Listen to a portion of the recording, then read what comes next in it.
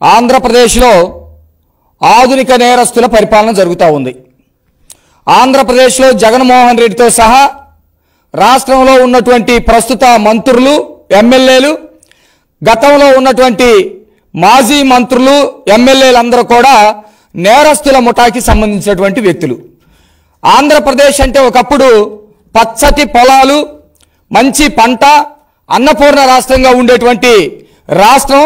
ఈరోజు ఆధునిక నేరస్తుల పరిపాలనలో గంజాయికి డ్రగ్స్కి అట్లాగే క్యాసినో లాంటి నిషేధితమైనటువంటి ఆటలకి నిలమైనట్టుగా చాలా స్పష్టంగా అర్థమవుతా ఉంది. చికోటి ప్రవీణ్ అనేటువంటి వ్యక్తి స్వయాన ఆంధ్రప్రదేశ్లోకి వచ్చి ఫ్లైట్ వేసుకొని వచ్చి ఆ టికెట్లు మొత్తం మేము చూపించాం ఇక్కడ క్యాసినో నిర్వహిస్తూ ఉంటే ఇక్కడ పోలీసులు ఏం చేస్తూ ఉన్నారని చెప్పేసి మేము అడుగుతా ఉన్నాం. ఈ రాష్ట్రంలో ఉన్నటువంటి ప్రజాప్రతినిధులు వైసీపీకి సంబంధించినటువంటి ప్రజాప్రతినిధులు బాలినేని శ్రీనివాస్ కానివ్వండి అట్లాగే ఎవరైతే ఈ వంశీ కానివ్వండి మంత్రి అనిల్ తొడలు కొట్టి కొట్టి వాజ్పేయి ఇప్పుడు ఎక్కడో ఇళ్ళలో పడుకొని కూర్చున్నటువంటి పరిస్థితి కనపడతా ఉంది.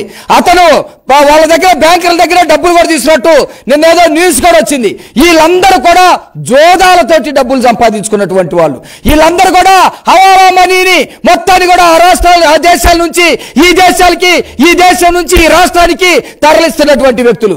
కాబట్టి మేము చాలా స్పష్టంగా చెప్తా ఉన్నాం.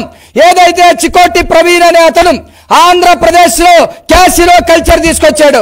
ఎవరి ద్వారా అయితే మంత్రి మాజీ మంత్రి కొడాలి నాని వంశీ తదితరుల ద్వారా ఇక్కడికి తీసుకొచ్చి క్యాసినో ఆడించి ఈ ఈ రాష్ట్రంలో ఉన్నటువంటి సంస్కృతిని సంప్రదాయాల్ని ధ్వంసం చేసి ఆర్థికంగా దెబ్బతీసి ఒక నూతనమైనటువంటి ఒక ఆధునిక కల్చర్ పేరు మీద రాష్ట్రాన్ని అబాస్పాలు చేసే కల్చర్ తీసుకొచ్చారు.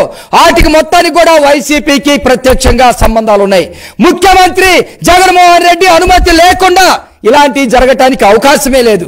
కాబట్టి ఈడీ వారికి మేము ఆల్రెడీ లెటర్ రాశాము. ఈడీ ఏదైతే ఎన్ఫోర్స్మెంట్ ఇది ఉందో వాళ్ళందరూ కూడా ఈ కోణంలో ఎక్కడ కూడా ఏదైతే ఈ కొడాలి నాని వంశీ తదితరులు ఉన్నారో మాజీ మంత్రులు అనిలు బాల్యాని శ్రీనివాసు సో చంద్రశేఖర్ రెడ్డి పెద్దిరెడ్డి వీళ్ళందరి ఫోన్లు కూడా ఆ సందర్భంగా ఫోన్లు మొత్తానికి సంబంధించినటువంటి డేటాను తీసుకొచ్చి వాళ్ళ విషయాలు కూడా బయట పెట్టాలని చెప్పేసి ఈ సందర్భంగా మేము డిమాండ్ చేస్తా ఉన్నాం.